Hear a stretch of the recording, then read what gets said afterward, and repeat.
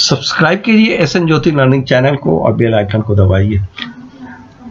इसमें जो है, हम use of too T double O इसी के बारे में डिटेल में पढ़ेंगे। उसका यूज़ कैसे होता है और कैसे सेंटेंस बनाते हैं। ये जो टू है टी डबल ओ ये एडवर्ब होता है। और इसके दो मीनिंग होते हैं। एक तो होता है ऑल्सो भी और एक है excess of anything excess of anything हम ज़्यादा यूज़ करते हैं, इसलिए पहले जो है भी के बारे में डिटेल कर। जैसे है I too went to Mumbai मैं भी मुंबई गया। यहाँ टू है। और ऐसे में कॉमा दोनों साइड कंपल्सरी अगर बिना कॉमा के लिख दिए I too went to Mumbai तो ये गलत हो जाएगा। इसलिए इस टी डबल ओ के दोनों साइड आपको कॉमा लिखना है। और ये जिसके पास रहता है, उसी को जो है, उसी को ये मॉडिफाई करता है। जैसे ये आई को मॉडिफाई करा, आई को करा, मैं भी मुंबई गया। सेकंड सेंटेंस है I went to Mumbai too मैं मुंबई भी गया। ये टू जो है किसके साथ है? मुंबई के साथ। तो मुंबई को मॉडिफाई कर रहा है मैं मुंबई भी गया। मतलब बहुत जगह गया, वहाँ पे मुंबई भी हो गया। तो ये टू का मतलब भी है। यहाँ कोमा भी कंपल्सरी है, इस बात को याद रखिएगा।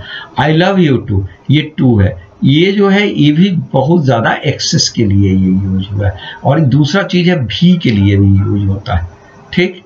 तो ये तो भी की बात हो गई। अब आते हैं टू का। यूज़ जो है एक्सेस ऑफ़ एनीथिंग में कह सकते इसी में बहुत ज़्यादा यूज़ होता है। ठीक है?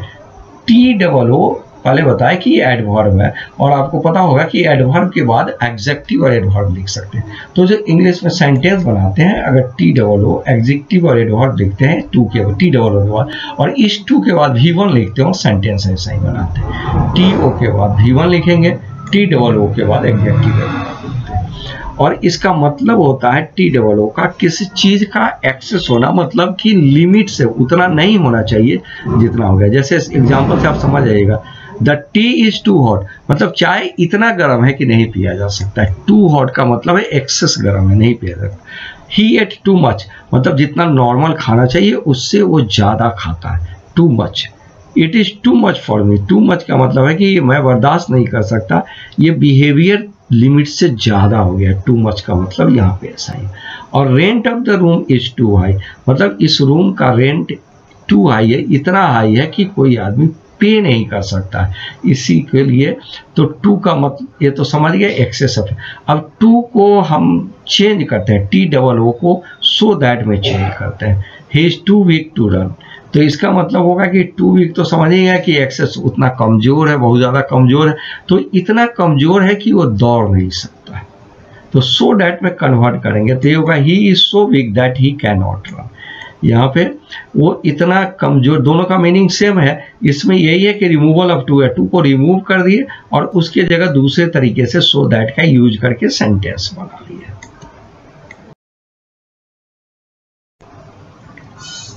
उसके बाद है she ate she was too old to play she was तो ये है she was so old that she could not play देखिए पास्ट टेंस में है, इसलिए यह कैन की जगह कुड लिखा हुआ है। She was so old that she could वो इतनी उम्र की है कि वो नहीं खेल सकती है।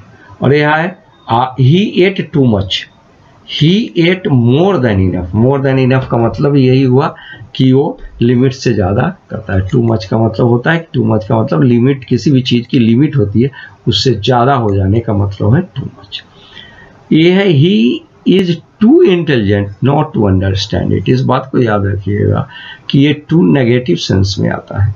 और यहाँ नॉट लिखा हुआ तो दो नेगेटिव जो है, एक ही सेंटेंस में सेंस करने वाला, ये जो है अफर्मेटिव सेंटेंस का इंडिकेशन देता है। इसका होगा he is so intelligent that he will understand it याद रखिएगा he is too intelligent not to understand को सो दैट में इसी तरह से कन्वर्ट करेंगे। He is so intelligent that he will understand it इसमें नॉट नहीं है। नॉट नहीं है क्योंकि ऊपर दो नेगेटिव सेंटेंस है। दो नेगेटिव फीलिंग है, एक टू है, वो नेगेटिव को सेंस देता है और नॉट टू नेगेटिव है इसलिए। और इसी तरह से इस टू का यूज़ होता है और टू को हट रिमूव किया जा सकता है। Thanks a lot to all